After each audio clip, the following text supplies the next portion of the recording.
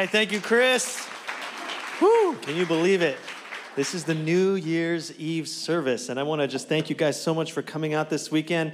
Hey, just by show of hands or make some noise if you went to one of our Christmas services this past Christmas. That was amazing. Thank you guys so much for coming out to that, and a big mahalo to everyone who was a part of it, who served. Thank you for giving of your time and your talents to just create a service that was fit for our King and for everyone who was just there to celebrate and worship together. We say this every year, but I think that was our best Christmas service we've done. I know I said that last Christmas too, but I would say it every Christmas because it just gets better and better. And I pray that you all had a blessed Christmas. And it's so great to see you this weekend as we talk about our theme going into 2024. For the past years, God has been giving us a, a, a theme, a vision for the year. And so we're going to talk about last year's and then go into the new year. But before we look ahead to where we are going, we have to pause to look back on where we've been and where we've come from Otherwise, we might end up like a funny story I heard this past week about a couple who forgot about their life changing encounter. Okay, so there was an elderly uh, man and a woman, kupuna, who were living in the plaza, let's just say. And uh, the, the man's name was Bob. And Bob was a widow, and the woman's name was Sue, and she was a widower. And they just kind of became friends and got to know each other over the years. And uh, one evening, they were having a, a Christmas dinner, community dinner in the activity center, and Bob and Sue just so happened to be sat at the same table. And so they were having a lovely evening together, and Bob kept shooting Sue these admiring glances before he finally worked up the courage to pop the question. He said, Sue, I've been thinking about this for some time now. Will you marry me? And Sue just beamed, smiling. And she said, Oh, Bob. And you know, after six seconds of careful consideration, she said, Yes, I will. I will marry you. And the evening ended and they, they went back to their rooms. But the next day, Bob woke up in a panic because he couldn't remember the night before. He said, Oh, no. I know I asked Sue to marry him, but I can't remember if she said yes or if she said no. Did she say yes or did she say no? And he was just freaking out. He, he didn't have the faintest memory. So finally, he worked up the courage and he gave her a, a call. And he said, Sue, last night was amazing. I had such a wonderful evening. And after much trepidation, he, he finally worked up the courage to say, And I know I asked you to marry me last night, but I can't remember if you said yes or no. And to his relief, Sue said, Oh, I said yes. I said yes, and I meant it with all of my heart, Bob. And I'm so glad you called me this morning because I could not remember who had asked me the question. so you see, we, we don't want to forget. We don't want to forget. It's important to remember because a lot of important and amazing things happened this past year. And I believe that God is setting us up for the next 25 years where we will experience tremendous transformation, not only here, but in the surrounding communities as well.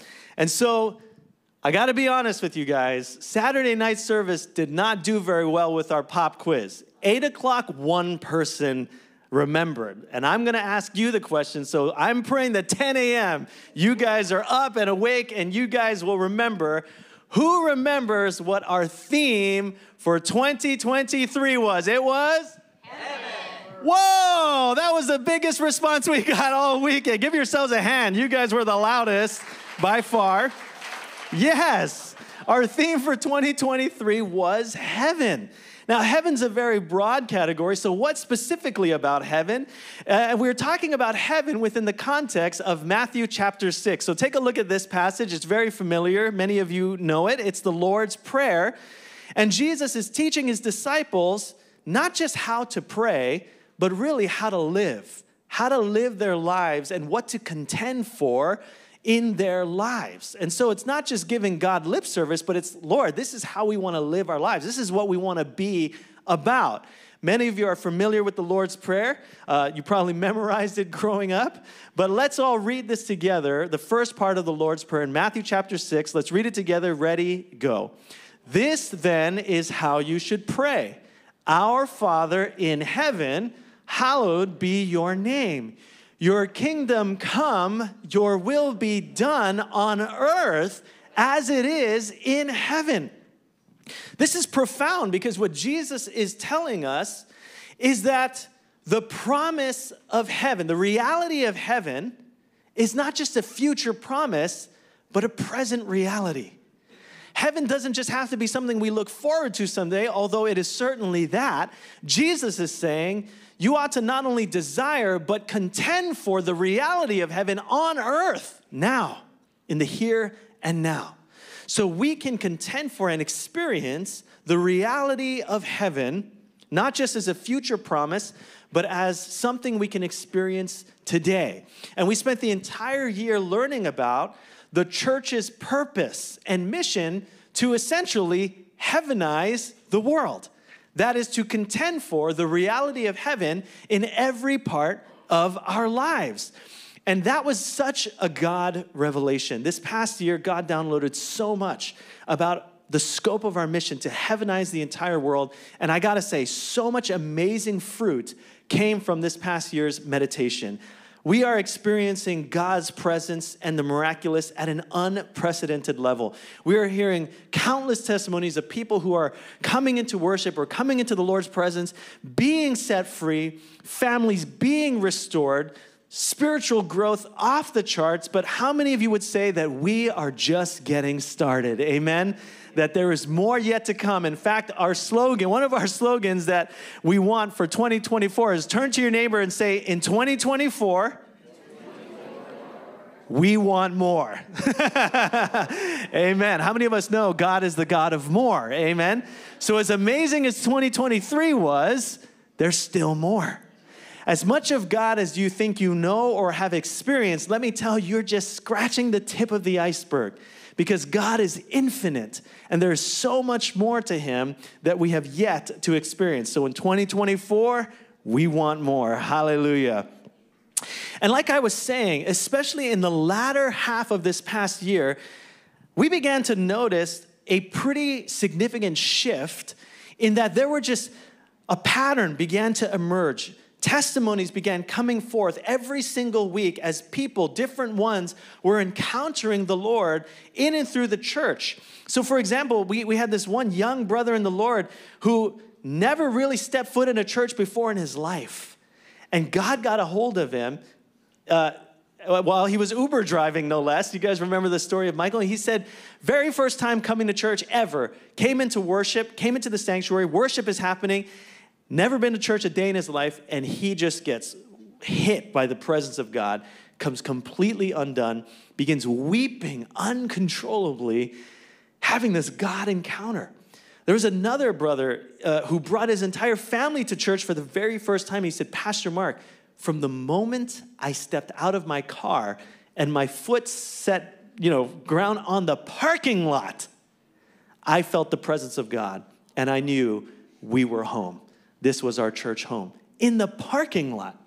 Another young girl said that she came to service and uh, very first time, and her takeaway, her observation at the end of service, she said was, Pastor Mark, I just feel like the Holy Spirit is just free to do as he pleases here. That you guys are not tied to a, a program or a production, but you guys are really about his presence. And you know, all these stories they really speak to our highest value as a church. Our highest value here at New Hope Central Oahu is to be a church where God shows up. Because without his presence, it's really not going to amount to very much. As wonderful as the music and the message is, if God is not in it, nothing will come from it. Sure, you may leave knowing a couple more things about the Bible, and that's great. You may leave feeling some sort of emotional high, but the shelf life on those things is pretty limited, whereas the transformation you experience because of what the Holy Spirit is doing in your life will last forever. We want to be about transformation, not just education, not just inspiration, but transformation. And when you're a church that's about transformation, you need God because no person on earth has the ability to change a heart. Only the Holy Spirit can change a life. And so we need for God to show up. And He has been showing up. In fact, um, it was happening so regularly and so frequently that people began testifying to this that I began to put my thinking cap on and I began to ask myself, what's going on here? I mean, yes, this is what we contend for, and yes, this is what we pray for, but there just all of a sudden seemed to be this like breakthrough that happened in the latter half of this year. In fact, how many of you, by show of hands, would say, and you don't have to if you if it didn't happen, but how many of you could confidently say that at some point attending a service here at New Hope Central Oahu, you have encountered undeniably the presence of God in one of the services. Would you say amen to that? That you have felt the Lord's presence, you have encountered Him, right? And that's wonderful because that's what we contend for, but I gotta let you in on a little secret, okay?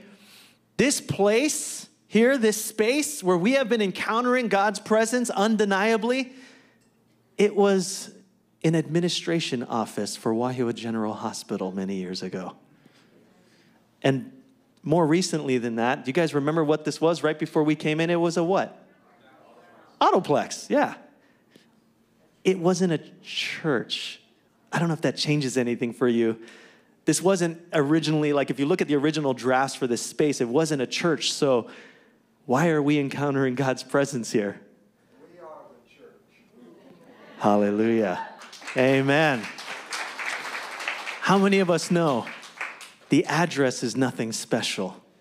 The brick, the mortar, this, this was admin space. It was an autoplex.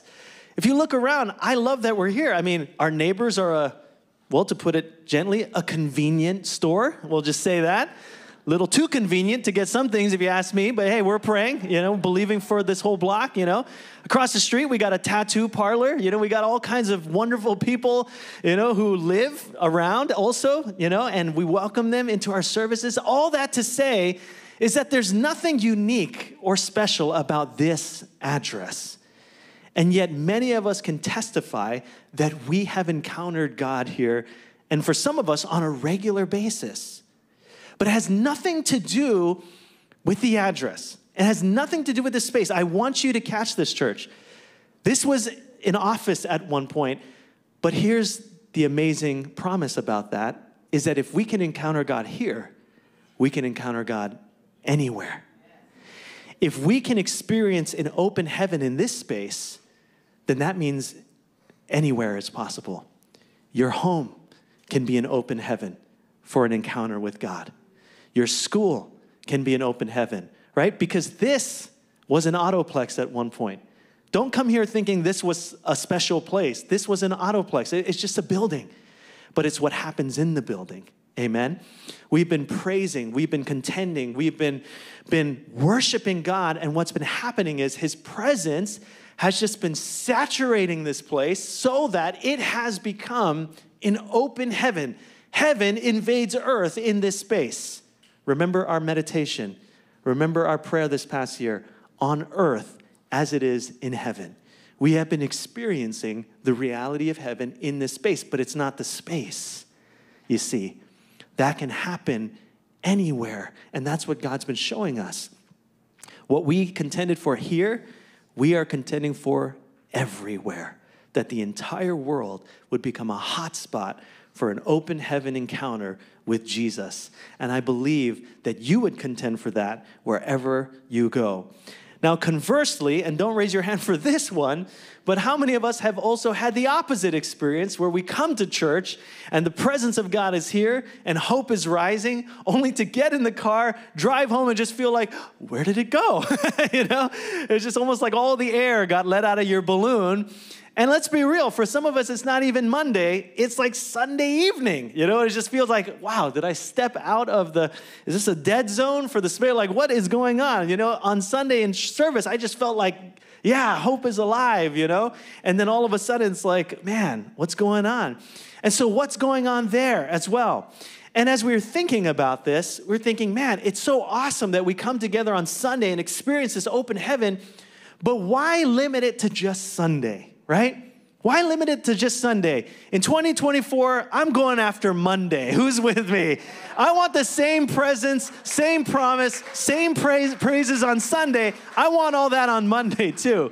I don't want it just once a week for a couple of hours. I want it all week long. And so uh, I want to share a, a little meditation that I think will help to shape our vision going into the new year. And it comes from the Greek understanding of the word for baptism. Our understanding for baptism comes from two Greek words. The first is bapto. You can see the similarity. This is where we get baptism from. And the second is baptizo.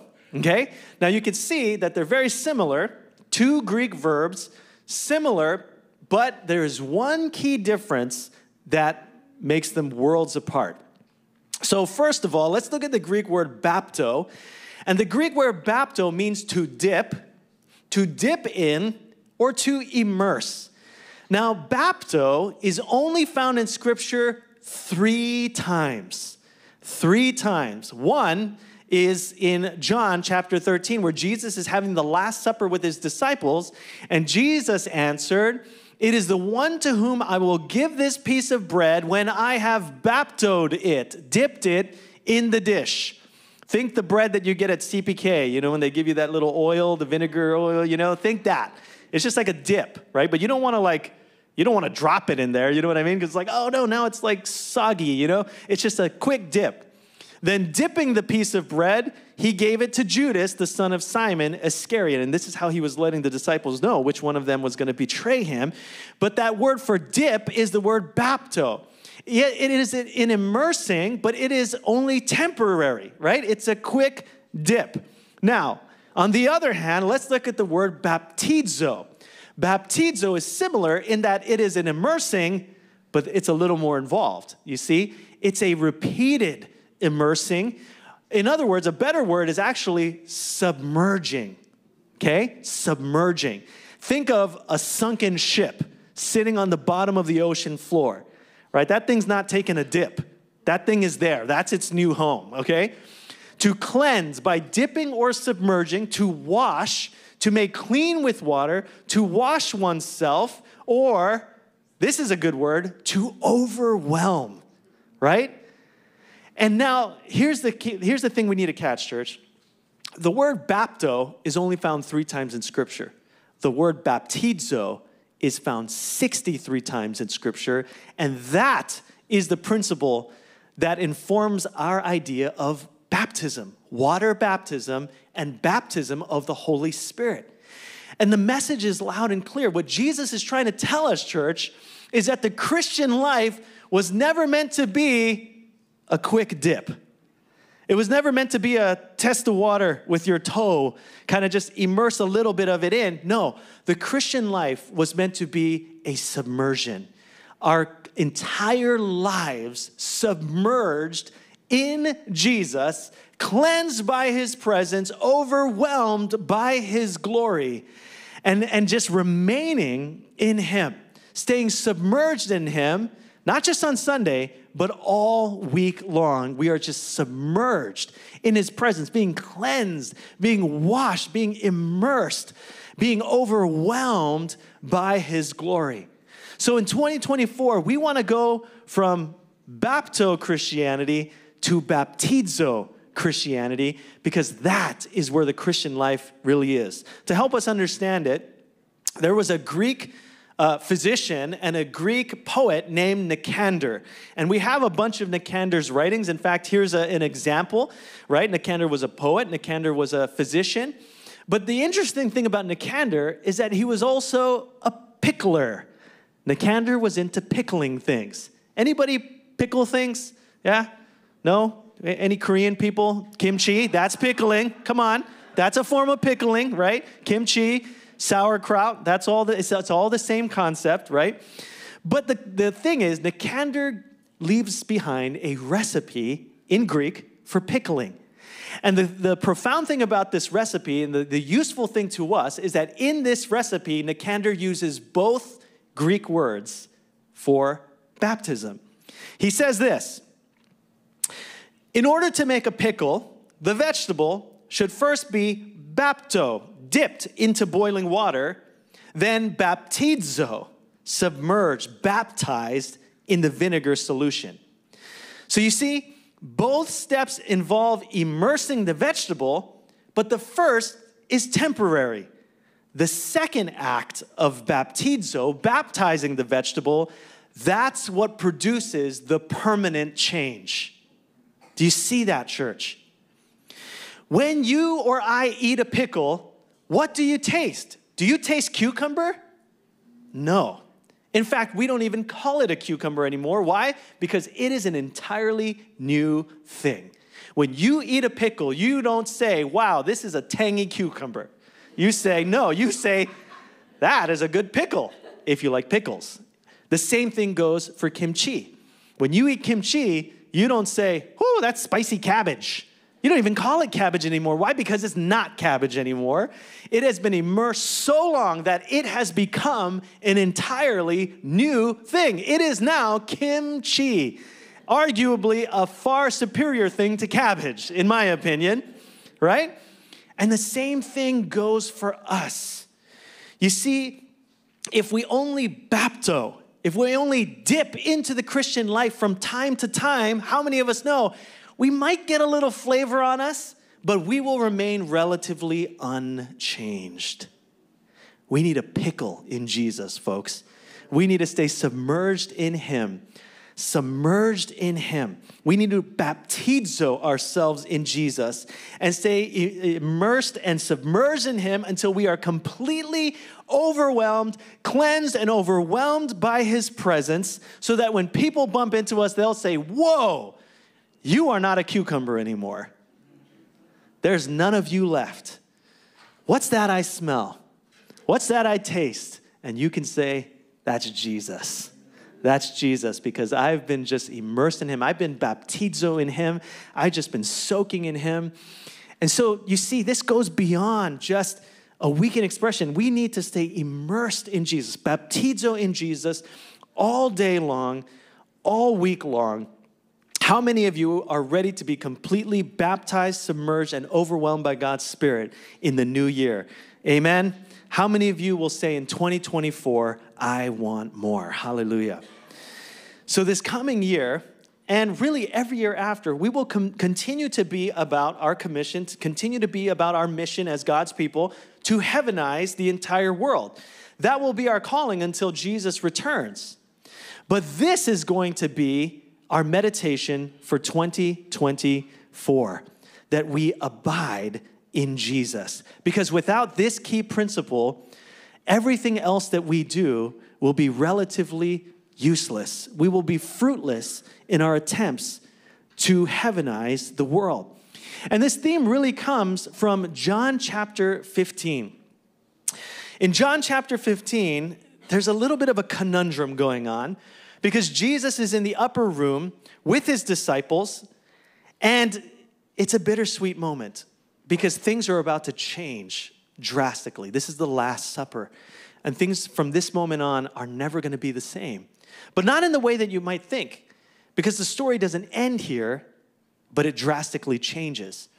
Up until this point, in the upper room for the Last Supper, Jesus' disciples have spent the last three years doing life with Jesus.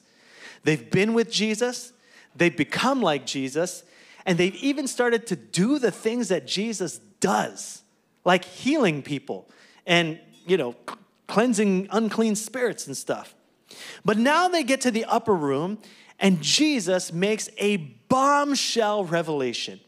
He tells them things are about to change in a really big way. I'm leaving. I'm going back to the Father. I say, Well, I mean, that's not such a big deal, Jesus. We'll just go with you. No, you see, where I'm going, you can't follow yet. You need to remain.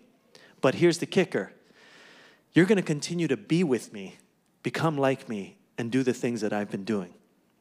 Wait, Jesus, didn't you just say you're leaving? Yeah, but you're going to continue to be with me, become like me, and do the things I've been doing. How? You're leaving, and you said we can't go with you. Yeah, things are changing, but they're not ending. You see, because I'm going to go, but actually, another's going to come in my place. And when I leave, things are going to go to a whole nother level. Things are going to get even better. In fact, Jesus says these very words even greater things will you do. How is that possible? It's because the same spirit and the same presence that empowered Jesus to transform lives, to heal the sick, and even to raise the dead was now going to remain and fill the lives of all of his believers. And it's in this context that we get this passage in John chapter 15. In John chapter 15, verse 5, now knowing that Jesus is leaving, right? This is in the context of him leaving. He says this I am the vine, you are the branches. Whoever abides in me and I in him, he it is that bears much fruit.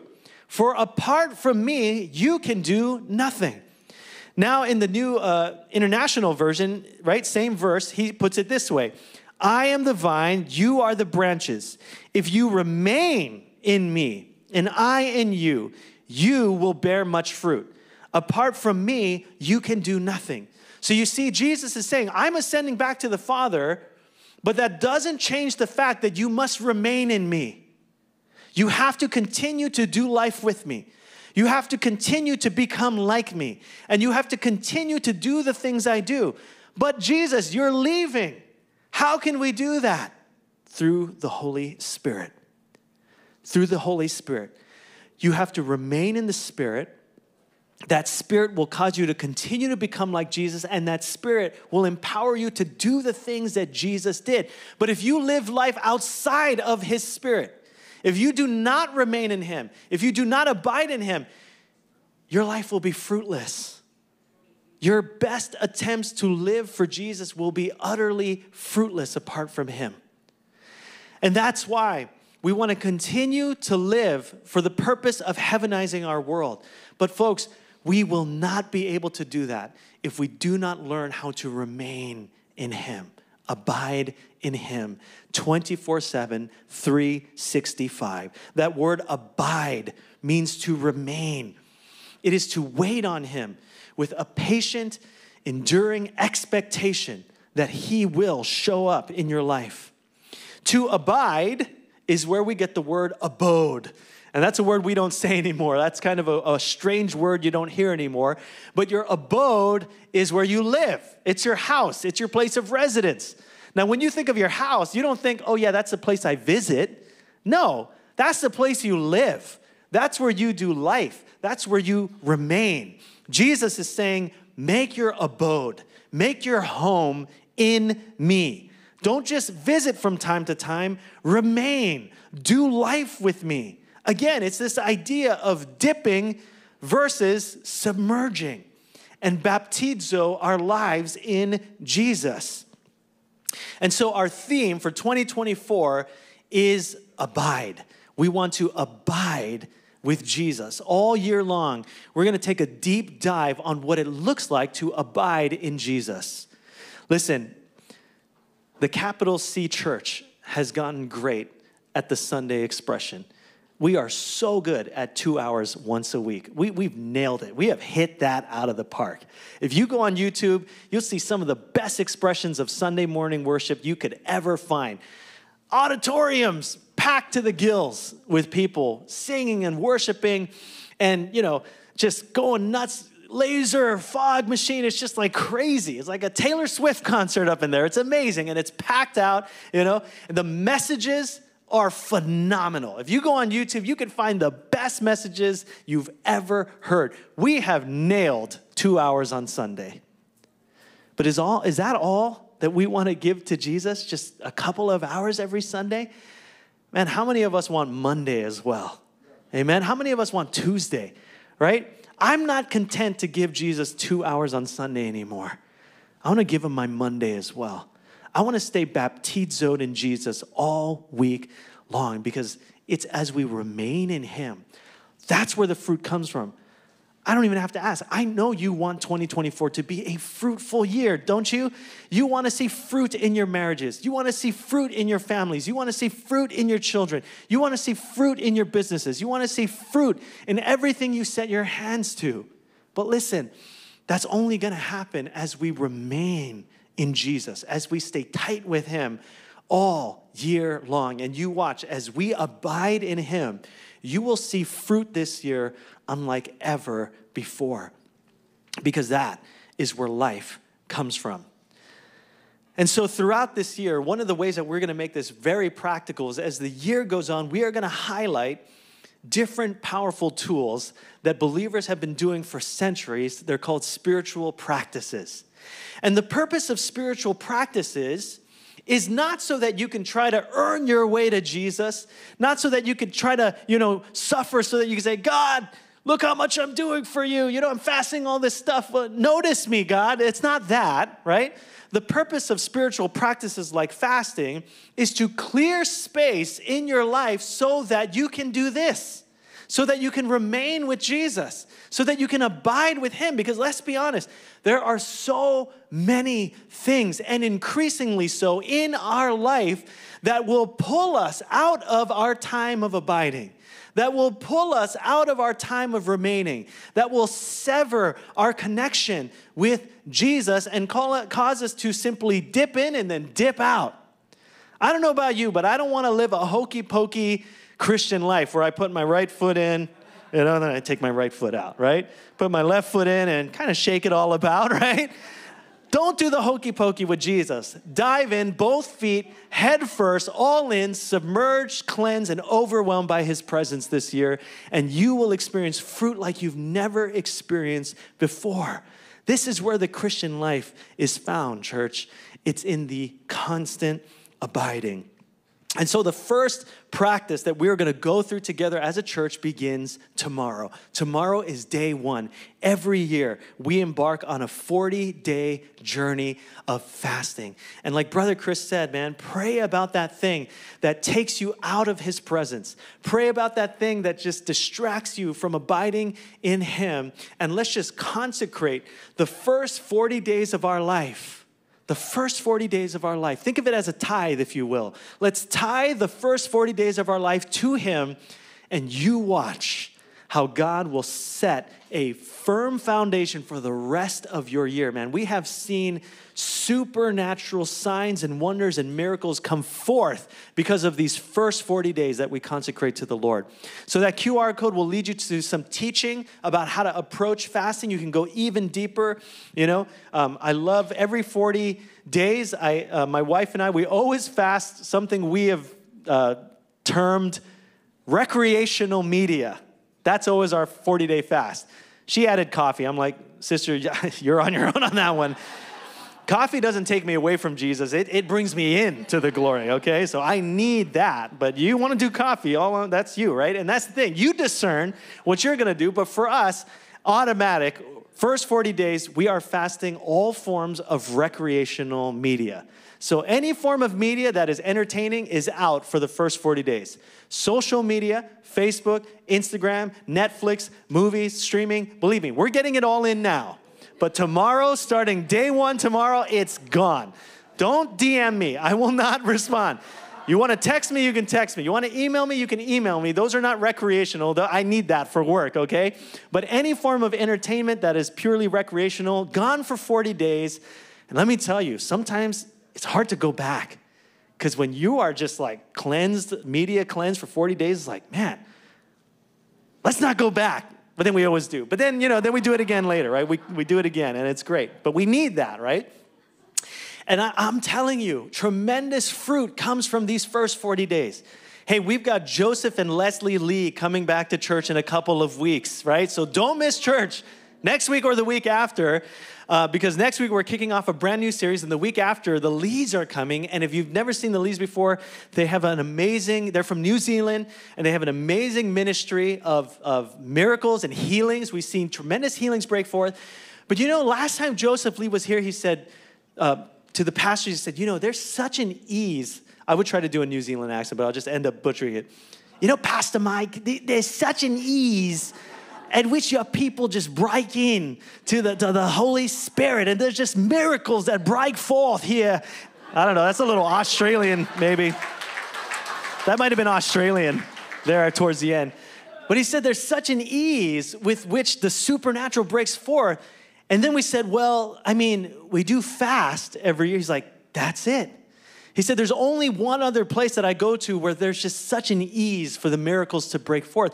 And it's because we fast and we pray and we consecrate these 40 days Jesus. And the, the fruit and the fruit of the seeds that are sown in those 40 days just they last all year long. So start the year off right. 40 days of prayer and fasting. Join us. We're going to do this together. And then another thing, day one tomorrow is our Abide devotional. And so, you know, oftentimes when you fast from things, you, you know, you want to fill that time with something else, right? Prayer is great, another is the word. You know, if you're fasting from social media, fill it with time in God's Word. Every time you're tempted to pick up your phone, pick up the Word instead and join us for this 21 day devotional. Now, as Chris said, it's 150 spaces and it's filling up quick. So scan that QR code because you want to get into that. But even if you it gets maxed out and you don't join the 150, don't let that stop you from doing it. I mean, you could still do it. In fact, get your family together or get a group of friends together and do it together. The cool thing about the, the YouVersion app is that it has a forum feature where after you do your devotional, you can leave a little like comment like, hey, brothers, sisters, this is what I got this morning. Or, hey, you know, I'm really struggling with this devotional in my life. This is the thing that I need prayer for. And other people can chime in. It's super interactive, super community based. We all just start the year together, and it's amazing to be in God's Word together. But with every one of these spiritual practices, whether it be fasting, whether it be the word, we'll talk about Sabbath later in the year. The heart behind every spiritual practice is to be with Jesus, to become like Jesus, and to do the things that he did. Amen. And as we do that, as we abide in him, you just watch the fruit that will come forth.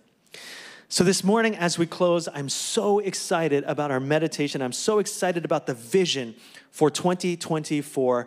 I believe we're going to see um, over the next years just not just transformation on an individual level, not just transformation on a family level, but I'm truly believing over 25 plus years, we will experience transformation on a community level. And that's what we're believing for. The same open heaven we experience here every weekend, we're gonna experience on a city level. Can you imagine that? If people cross city lines and feel like, whoa, I just entered into something. There's like an open heaven here. You know what I mean? This, this town is different. This city is different. There's something going on here, right? It's kind of like when you drive into Laie. There's like, something's going on here. It's like, why are all the businesses closed? It's Sunday. You know, it's like something's going on over there. And, and you know, that same phenomenon can happen anywhere. I'm believing that Wahiawa, Mililani, Haleiwa, these are going to be the first Christian cities in the state, in the nation of America, right? That when people think about these cities, right? I mean, let's be honest. When you think of Salt Lake, that's what you think. Oh, yeah, that's a Mormon city. you know what I mean? Salt Lake City, Utah. Hey, how come they get a city? When do the Christians get a city? This is our city. This is God's city. And we're going to contend for open heaven in central Oahu 2024 and beyond. Because listen, 2024, church, we're going to celebrate our 25th anniversary as a church. This Easter marks 25 years of New Hope Central Oahu. Would you give God a, ha- a hand for that? We're going to celebrate that. And we're going to we are working hard to tell the story. It's going to be an amazing video that's just going to tell the story of these past 25 years. You know, for 25 years, man, there's just been such faithfulness, you know. 25 years really marks the run that my dad had as lead pastor of this church 25 years. And God has done amazing things under his leadership. And, and God has just set us up for a very exciting 25 years to come. I'm so excited. And somewhere around the 20 year mark, I'm going to start looking around thinking, all right, who's next? In fact, I'm already kind of doing it. Maybe one of these kids up here. Coco, you want to be the lead pastor one day? No. She said no. Hey, I said no too. And look what happened to me. But 25 years, amen. You know, there's some people here who are here from day one, year one. We had the Holdrens. Danette Holdren was here. Man, she's like a 20 plus year person. Alvaricos are here. Maybe 25, almost close to 25 years, right? 25, right? All 25. He was here from year one. The Alvaricos, Auntie Susan have been here since year one. We have people on our team who've been with us 20 plus years. Some of you 10, 15 years. Man, thank you guys so much for being faithful, not to a church, but to what God is doing in our communities. Thank you. And if you're new to the church, welcome. This year, we're in for an amazing celebration of God's faithfulness. You're going to hear the story at Easter of what God has done these 25 years and where God is bringing us in the next 25 years. And let me tell you, it is exciting. The future is bright. And so I'm excited. But with that said, would you all stand together with me this morning as we close in a word of prayer? This is it, church. These are the final moments of 2023. And we are preparing to ring in a new year. Hallelujah. So exciting. Lord Jesus, we come before you this morning. And God, at the end of 2023, we worship you. We honor you. We glorify you. We want to end this year the way we began it, and that is praising your name, God. Lord, you have done far exceedingly more than we could have asked or imagined this year. We thank you for the breakthroughs. We thank you for the miracles. We thank you for the transformation. And yet we know that the best is yet to come. 2024, Holy Spirit, we want more. More, Jesus. And we thank you that you are the God of more. So we're excited for what you have in store. Hallelujah. And Lord, this morning, God, you say, you said to your followers, Come unto me, all you who are weary and heavy burdened, and I will give you rest. My burden is easy and my yoke is light. Take it upon you. So you see, as we approach 2024, we don't need to strive.